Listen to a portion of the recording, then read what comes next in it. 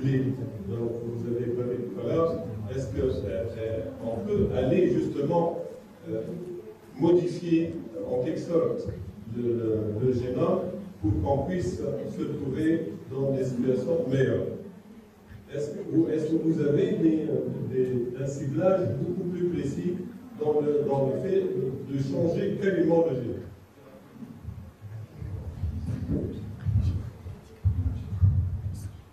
Alors, pour l'analyse systématique du génome, la, systématique, ça se fait surtout aux États-Unis parce que la loi américaine le permet. En Europe, c'est interdit. En Tunisie, bien sûr, il n'y a pas de loi. Euh, aux États-Unis, on fait quoi? Il y a ce qu'on appelle in-house testing. C'est-à-dire que tu, sur Internet, tu demandes une analyse, tu reçois le lendemain une enveloppe avec un tube, tu fais un buccal, tu mets dans le Enfin, tu l'envoies et tu auras ton résultat dans deux semaines et te dit voilà, tu es une personne qui a une prédisposition au cancer du côlon, tu as une prédisposition à, la maladie Alzheimer, etc. Et euh, c'est un très très grand marché. Euh, en Europe, c'est interdit, euh, mais rien n'interdit de l'envoyer aux États-Unis. Donc les Européens aussi commencent à le faire et l'envoyer aux États-Unis. c'est éthiquement, c'est discutable. ça peut être bien tu sais que tu vas avoir un cancer du sein, donc tu fais attention, tu fais tes mammographies, etc. Et tu prévois. Ça peut être très mauvais parce que tu peux avoir un diagnostic de Corée à l'âge de 20 ans, tu peux rien faire, tu restes sous le stress, tu peux te suicider parce que tu sais qu'après 25 ans, tu vas avoir une maladie très très handicapante et très sévère et tu vas mourir euh, dans un état gravataire incroyable.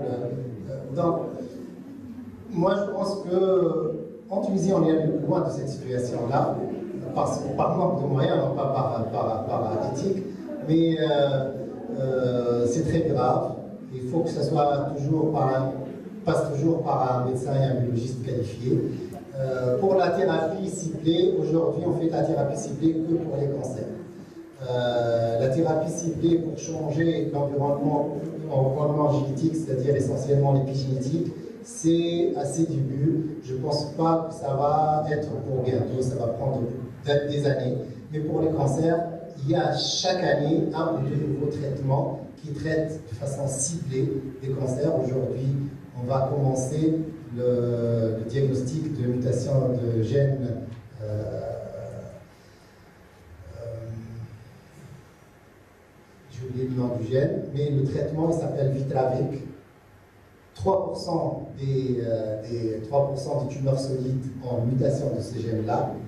Et le Vitravic, ça permet une euh, amélioration de la survie de 4 ans pour les personnes qui ont cette mutation-là. N'importe quelle, quelle tumeur solide, du côlon à poumon, intestin, etc. donc euh, la thérapie ciblée en oncologie, c'est en, en, progression très.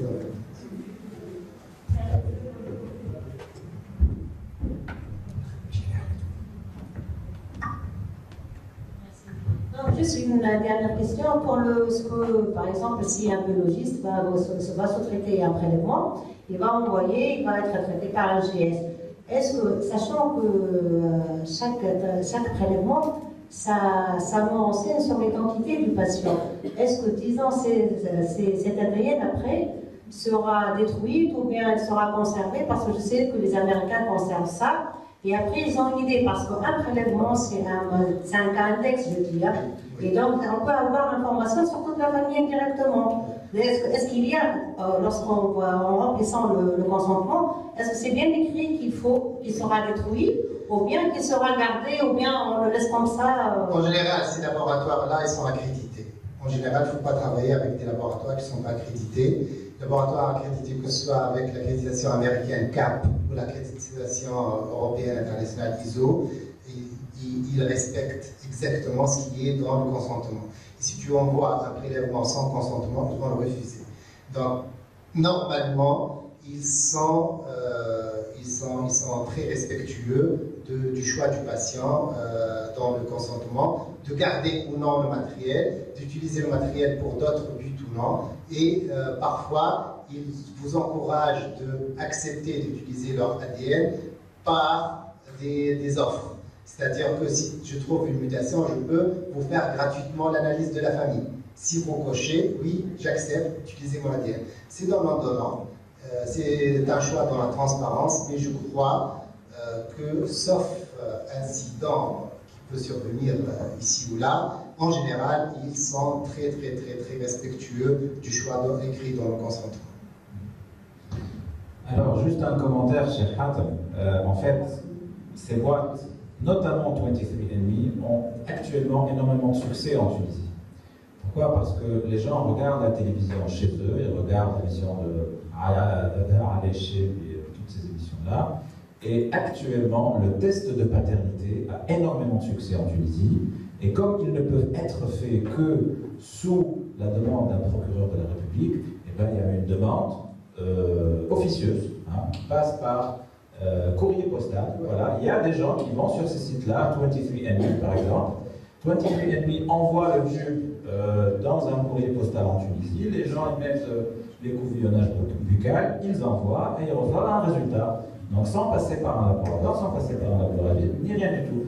23andMe ont été interdits d'exercer aux États-Unis sous Obama. Maintenant, sous Trump, ils peuvent euh, à nouveau exercer aux États-Unis, mais rien.